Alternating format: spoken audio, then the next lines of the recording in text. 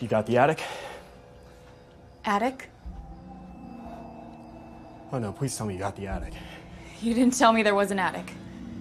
You guys, you said you got upstairs. I did do upstairs. Well, upstairs includes the attic. You guys!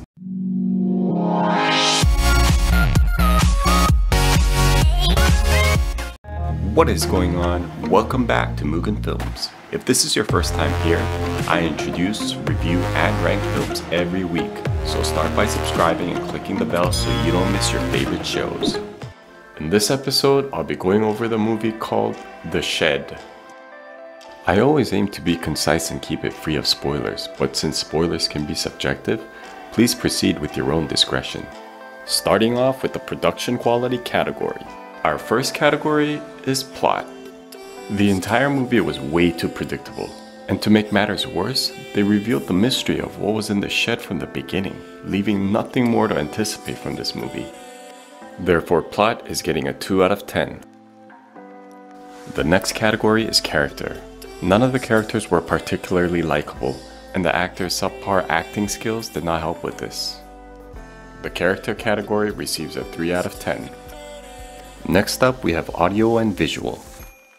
Sometimes they had blood where they weren't supposed to, and sometimes they didn't when they were supposed to have it. And at times, the special effect makeups were so noticeable, I just couldn't get into the scenes. I'm rating it a 3 out of 10 here. Next up is directing. The Shed had just way too many scenes that did not make sense. The script was boring, it was corny, and the editing was choppy. I was cringing pretty much the whole time so I'm giving it a 1 for directing. Last in our production category is pace.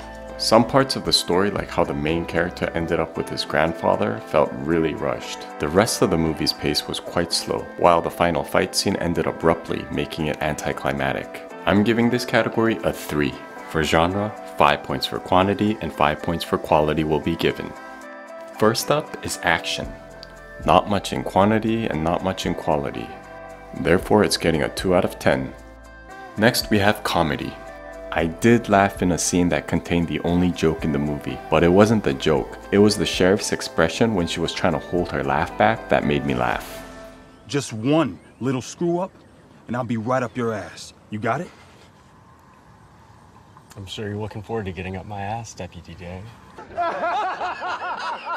Comedy gets a 1. The next category is drama.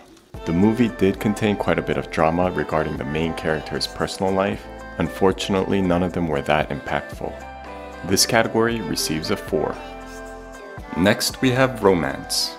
There was some romance and some friendship. However, I wasn't feeling it too much. Maybe due to the fact that the movie was trying to force it on me. I, I told you this fucking secret as my best friend, and I'm expecting you to keep it as my best friend. I'm supposed to be your best friend. You're my friend. You're my best friend. Therefore, this category gets a 3. Last in the genre category is violence. Had the quality of the special effects been better, this category would have received a higher score, but since it lacked realism, it's getting a 4 out of 10.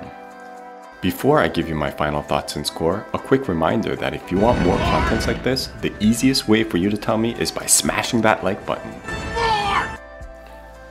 Can't help but keep thinking that maybe if this film had kept whatever was in the shed as a mystery until the end, it might have been better. But unfortunately, it is what it is. I recommend you save 100 minutes of your time for a different film. I'm giving The Shed a 2 out of 10 for the HTFB score. And finally, the production quality received a total score of 12 out of 50.